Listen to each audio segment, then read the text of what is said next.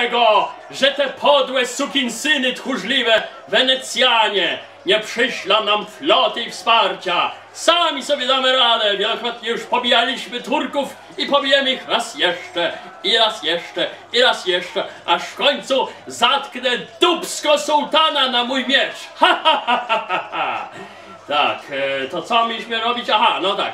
Na Wencjan nie czekamy, a więc do boju, rycerze! Do! Ha! Ha! Ha! Spokojnie, koniku! Ha! Ha! Głupie bydle! Mogę przez ciebie walczyć, ty głupia sz szkapo! A! A! A! A! O, koniku, no kurwa! O, u! Glaś gwiśtek, mówią Niemczanie! Eee! Dobra, proroka, bij! Pogańców, chrześcijańców! Turre belle belle ba baja hu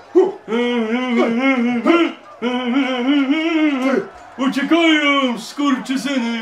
Ty Dzihangir, mm, e, zobacz ty, to jest ten polski król? Wkrótce!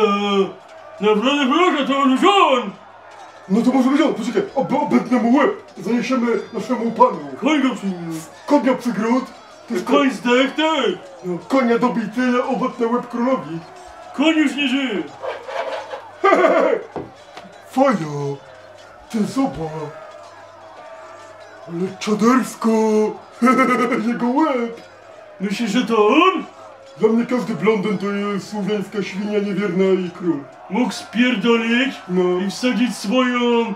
i wsadzić swoją koronę na łeb jakiegoś innego pogańca. Może tak było, ja nie wiem, ja jestem tylko wiernym psem naszego sułtana.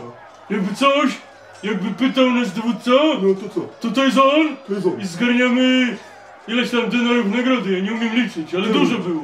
To łeb się włodzi i włoży do słoika, się zaleje miodem i będzie setki lat. Kurw, k- łeb niewiernego króla. Jest! A jak zdobędziemy Konstantynopol, to osadzimy go tam na pizzę. Chyba jeszcze mu oczy wydłubię.